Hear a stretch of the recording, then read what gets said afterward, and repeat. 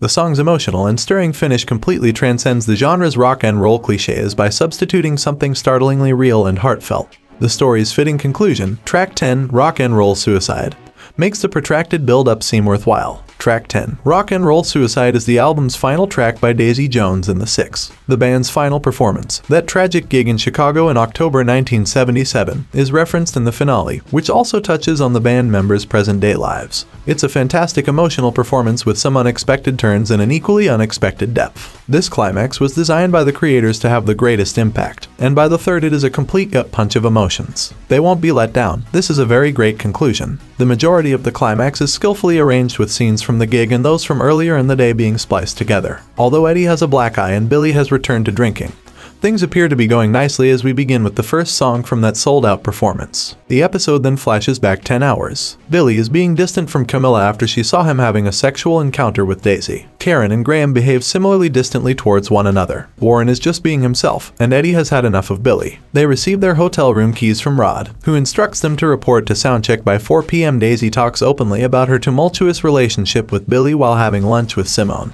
She can no longer maintain this charade because she is in love with him. The pain of continuing to play music with him and work together has become too much for her because he has once more rejected her affection. Billy tells Camilla the truth, right. In the meantime, Camilla confronts Billy about the alleged encounter she saw. Billy uses his standard argument that everything is merely an act, but he won't deny his feelings for Daisy. Billy is honest, nothing has transpired between them. But Camilla doesn't think this suffices. Daisy arrives just as she leaves him. Billy explains to Daisy what just happened, assuring her that he was honest with her and that nothing has happened and never will. Daisy tries to be sincere with Camilla by acknowledging her feelings for Billy, but that he will always pick Camilla over her. But Billy's wife isn't interested since she believes they are meant to be together. This causes Daisy to spiral downward. She increases her drug use, and a conversation with her mother over the phone just makes things worse. Daisy intensifies her drug use and supplements it with copious amounts of alcohol. She seems content to destroy herself and her job in order to numb the agony because she feels self-destructive. The situation for Graham and Karen isn't much better either. Karen tells her boyfriend everything about the abortion. Graham is upset that she refused to let him help her get through that awful experience or even inform him. Graham is devastated when Karen says she will never want children. If she doesn't intend to have children in the future, he cannot be with her. Eddie's departure from the band, why? Billy defaces his hotel room in fury after Camilla decides to leave him. Eddie confronts Billy after he just broke one of his guitars at the worst possible time. Eddie informs Billy that he is leaving the band and is sick of the way he has been treated. He spills everything, saying Billy even had to redo his parts for the album and that he never wanted to be the bass player. The tipping point came when Billy stole his opportunity during the concert in Pittsburgh. Billy responds that Eddie enjoys being made fun of because it offers him a justification for performing poorly. Eddie responds by claiming to have had a relationship with Camilla. Billy strikes Eddie in the face as retaliation, giving Eddie a black eye. Billy calls Teddy before leaving a voicemail for Camilla. He needs support and is at his lowest point, but he finds it difficult to tell Teddy that. After leaving the phone booth, Billy enters a bar. When a supporter offers him a drink, Billy completely abandons his plan. Billy and Daisy are both late for the sound check and end up drinking instead. Around 8.30 p.m., they finally catch up with the band, and they are both very drunk. Billy gives Daisy a private kiss. She understands that he has resumed drinking and that he genuinely enjoys the singer's wild side. Even though Billy and Daisy are blatantly making out throughout the entire performance and repeatedly come close to kissing, the gig goes very well. Heartbrokenly watching from the audience is Camilla. Billy and Daisy are all over each other backstage after their last song. Billy uses drugs while telling Daisy that Camilla has broken up with him. They make out passionately, but Daisy is surprised by Billy's abrupt transformation. Daisy disagrees with Billy's assertion that they should be fixed together because they are both broken.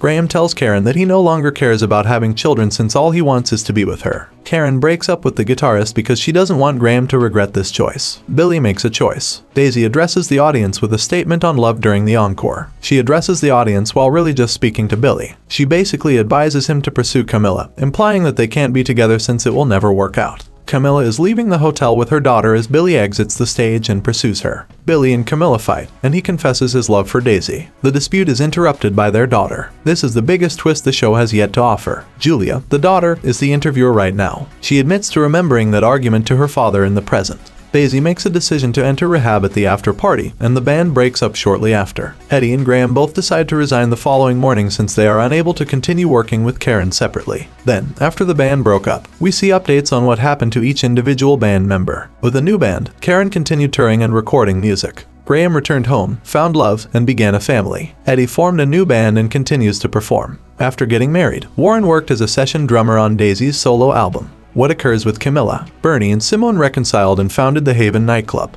Rod left the business and Teddy passed away. Daisy continued to work alone and gave birth to a daughter. When Billy sought treatment, Camilla was eventually won back. The series' most tragic turn was when Camilla was ill and ultimately passed away. The band members discuss Camilla and how she united them all. Billy talks about his tumultuous relationship with Daisy and how they were both a disaster and the perfect match. Both of them were aware that their survival depended on their being apart. I believe that this is what the phrase rock and roll suicide means. Their jobs and rock and roll lifestyles were destroyed when they separated, allowing them to live happy lives in their place. To cease killing one another, they had to leave that existence behind and part ways. Billy and Daisy watch video of Camilla's last interview in the episode's closing moments. Camilla requests that Julia deliver a message to them both. She instructs Billy to phone Daisy and wait for Daisy's response. Billy and Daisy were destined to be together, and Camilla was aware of this. Nevertheless, they had to mature significantly before they could be back together. Billy knocks on Daisy's door in the closing scene. She responds, and they grin at one another. Now that they have another chance, Billy and Daisy can work things out. Thanks for watching, and if you are new to channel subscribe and click the bell, so you don't miss out latest videos of Media Breakdown.